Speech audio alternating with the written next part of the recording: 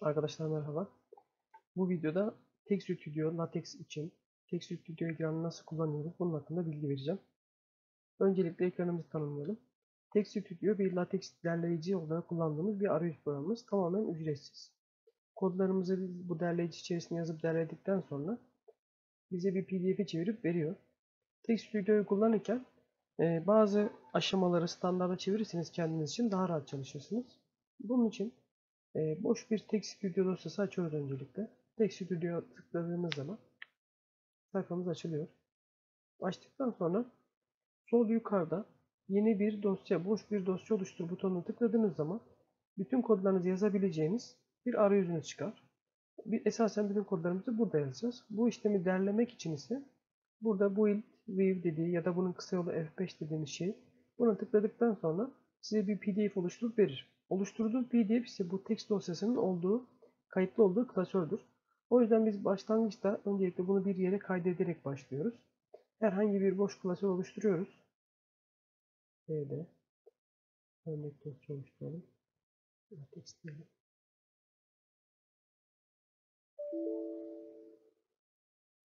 Dedik. Makale diyorum örneğin.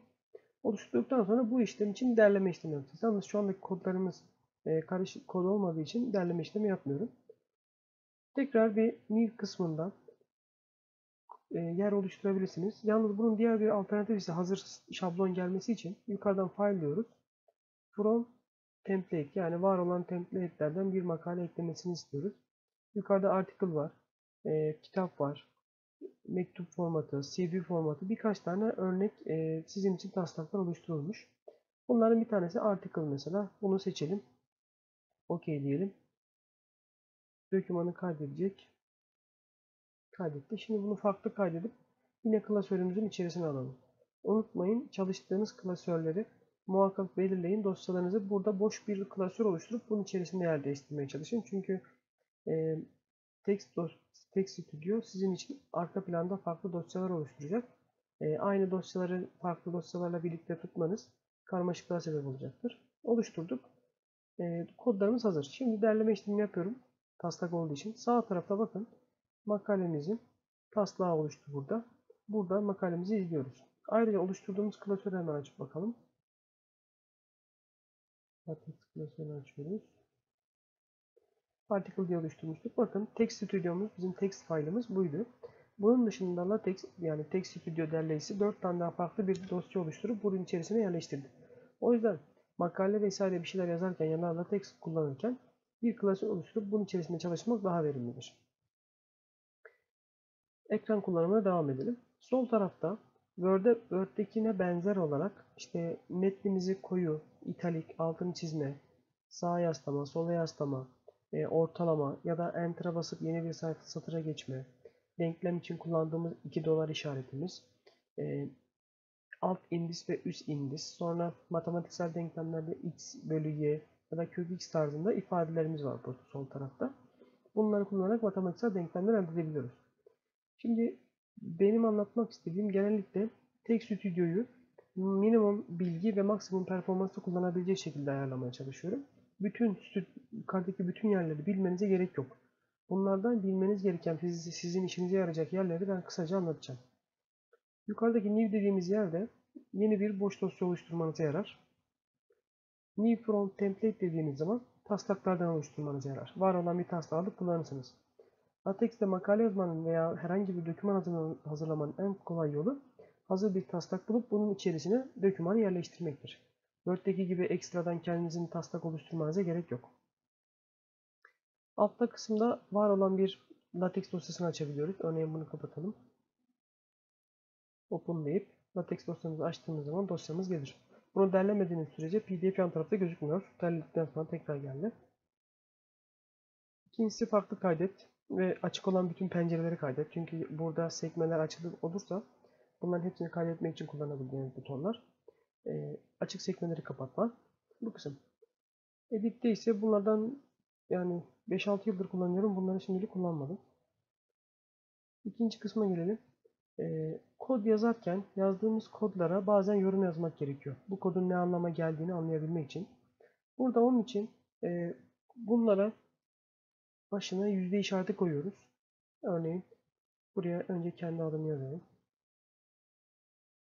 Bakalım bu nerede çıkacak. Keselim.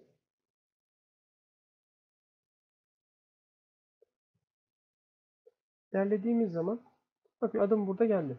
Bunu başına yüzde işareti koyduğunuz zaman bu yorum satırına döner. Kodlamadaki e, durumlardaki gibi. Derleme sırasında da gözükmez. Size bilgili notu olarak buraya düşmüş olarak e, kabul edebilirsiniz. Bilgilendirme, kendime not diye de düşünebilirsiniz. Kendime not. Eğer çok fazla paragrafınız varsa bu paragrafları otomatik olarak ım, başına yüzde işareti koymak istiyorsanız satırı seçiyoruz. Kontrol T dediğimiz zaman başına yorum e, yüzde işareti koyuyor. Bunun başındaki ya da birçok yüzde işareti koydunuz. Bunların hepsinin başındaki işaretlere, yüzde işaretlerini kaldırmak istiyorsanız Ctrl U.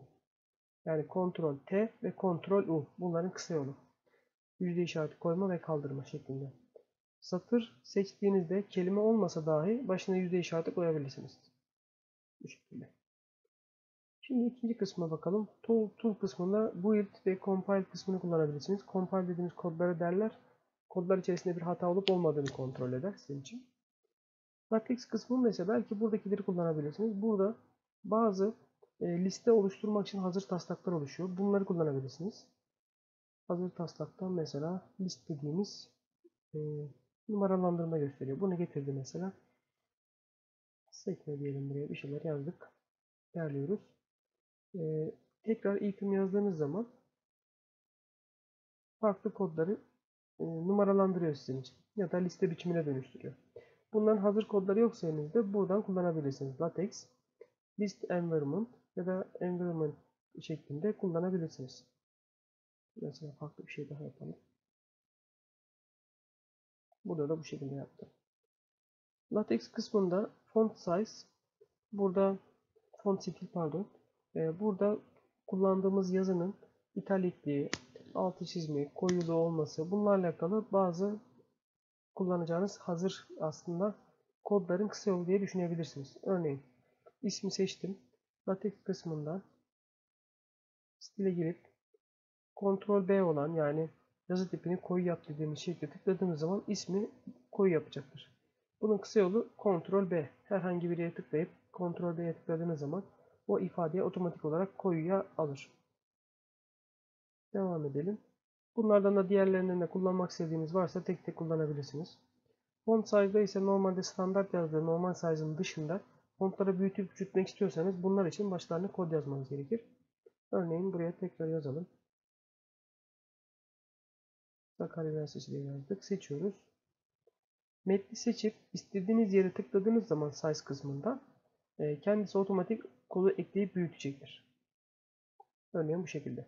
Bunlar için ayrıca e, kod yazabilirsiniz kendiniz elle ya da bunları kısa yollarını kullanabilirsiniz.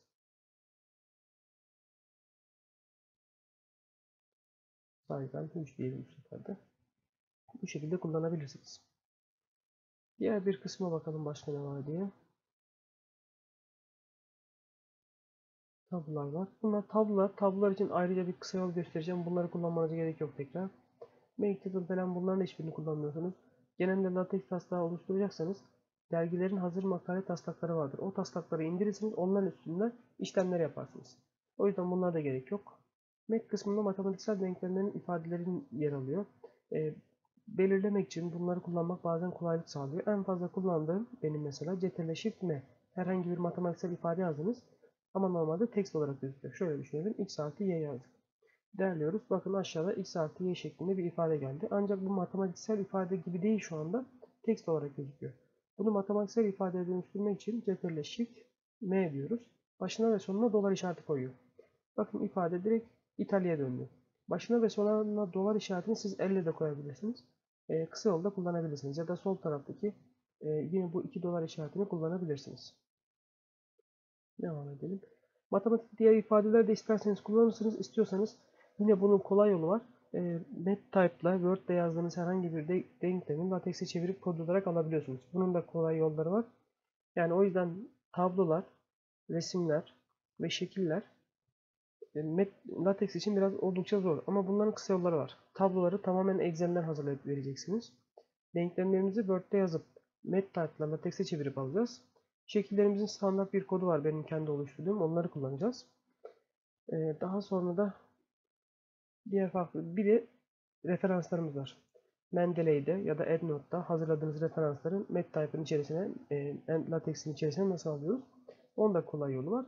E, birkaç tane yolu var ama en kolayını kullanıyorum ben şimdilik. E, gerek olursa üst seviyelere geçiyoruz.